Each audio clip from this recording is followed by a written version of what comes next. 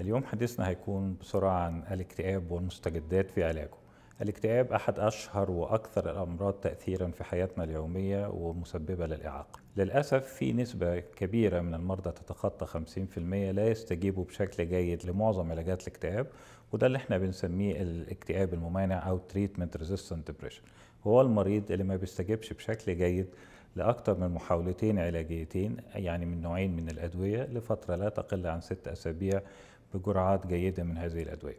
وهنا بتبقى في مشكلة أن ده بيؤدي إلى زيادة معدلات الانتكاس وحدوث نوبات المرضية الأشد أو زيادة معدلات الانتحار.